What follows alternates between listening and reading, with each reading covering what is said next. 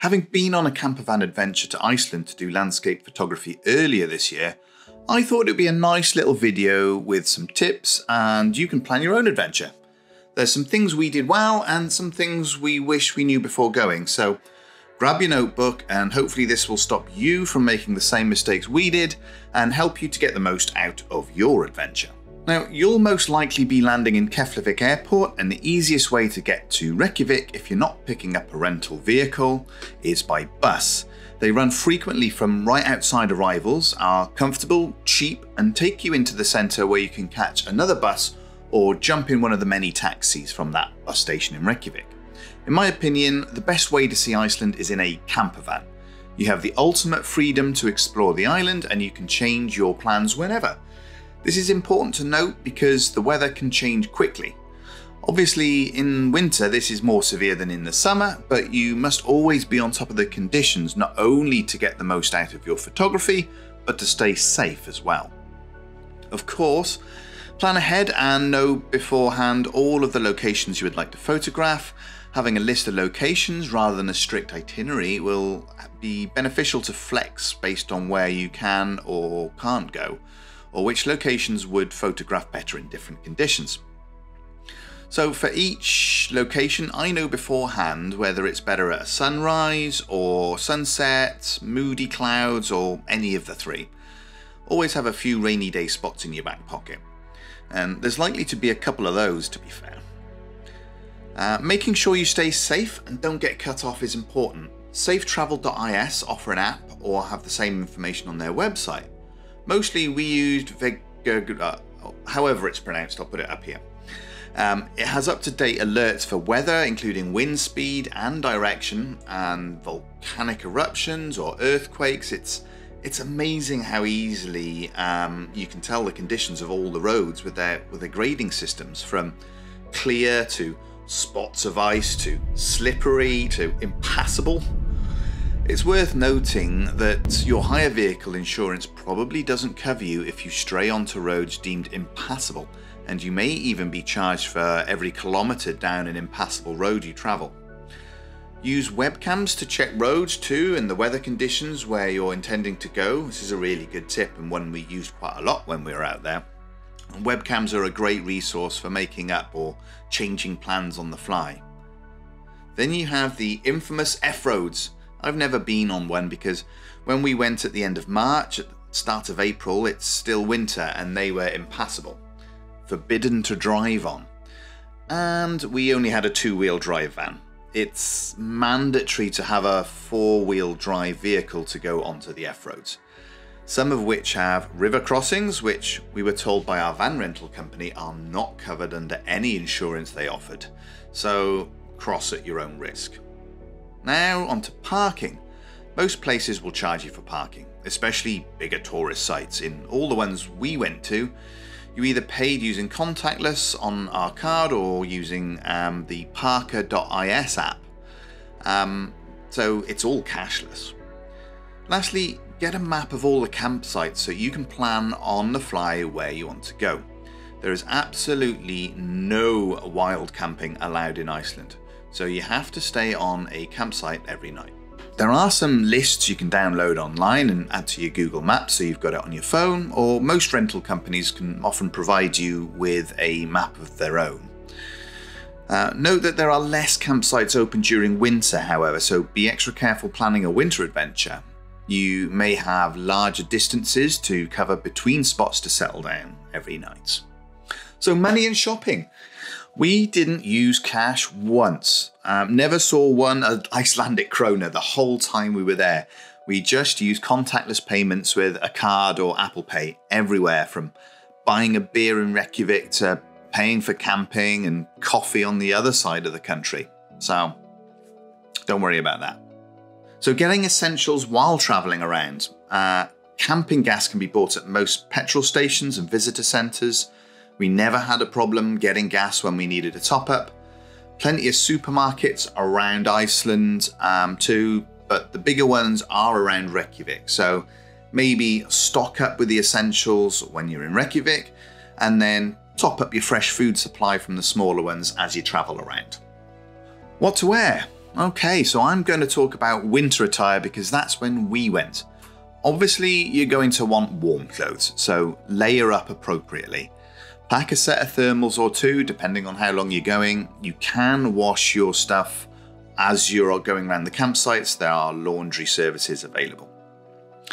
Uh, a down jacket that's also windproof is a great choice.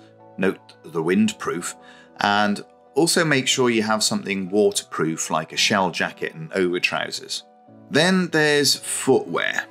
Make sure you have decent, sturdy footwear. The amount of tourists we saw in fluffy moon boots, not just getting ruined in snow and mud, and, but they were always on the verge of having a serious fall. It was crazy. Don't bother taking a scarf.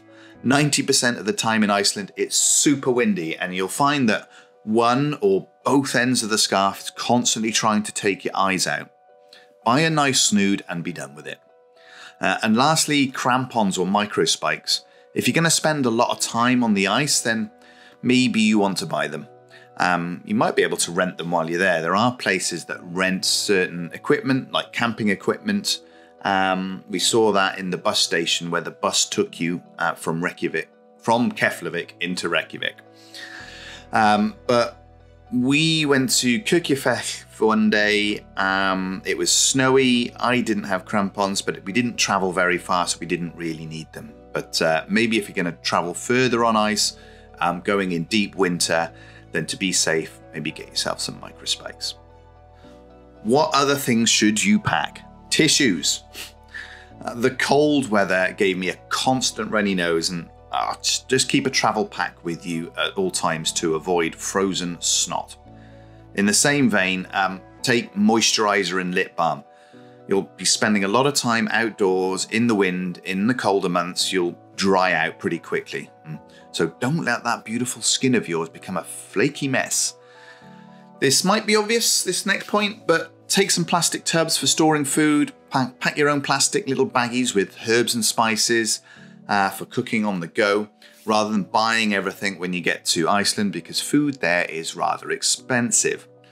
We rented our van from Cozy Campers, and they have a fridge and some shelves for leftovers from previous people's journeys.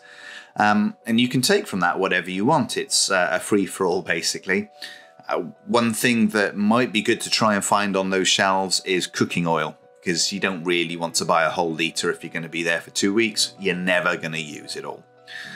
But obviously, uh, what you don't use, you can leave when you finish your trip. So, waste not, want not, as my mother always used to say.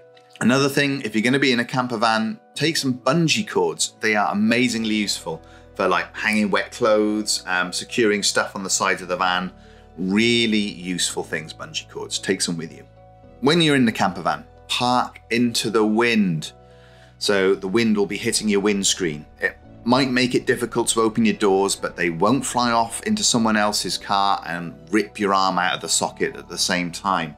Speaking from experience. Now on to cooking. If you have one, take a Jetboil. This saves you getting a big stove out every time you want a cup of tea, which, if you're British like me, is pretty often. Um, and also rent an inverter from the campervan company so you can charge your camera batteries and your laptop from a plug whilst on the move rather than a 12 volt socket.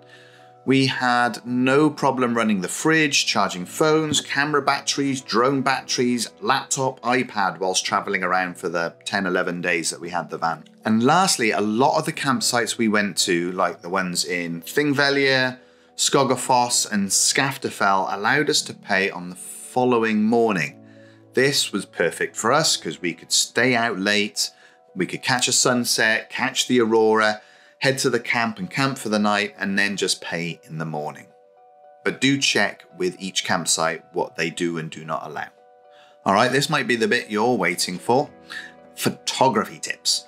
Um, if you want to know more specifics about each location or a bunch of locations that I've been to at least, then I have three vlogs on Iceland already on my channel. And it's playing in the background right now.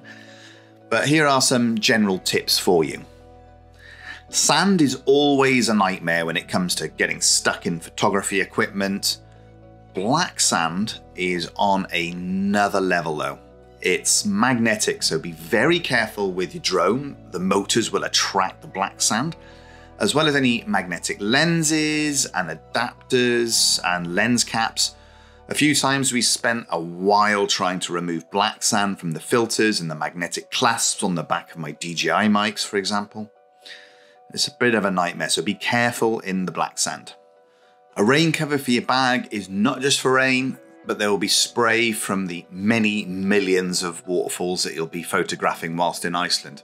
General rule, the further away from Reykjavik you are, the quieter it will be.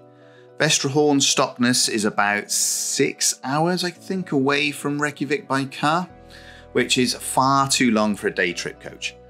Skogafoss, on the other hand, is only two hours away, so from between 8 to 9 am onwards at Skogafoss, it'll be getting coachload after coachload of people turning up.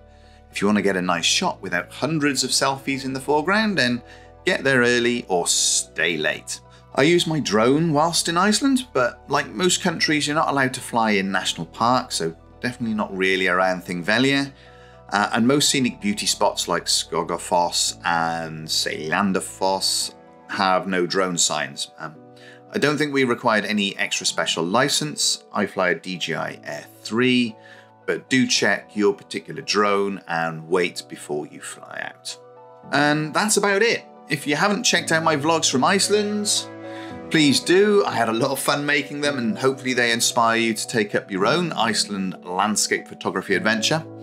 If you liked the video, like it. If you disliked it, dislike it. And as always, I appreciate a like and a subscribe. Costs you nothing, but gives me oodles of joy to see that little number going up.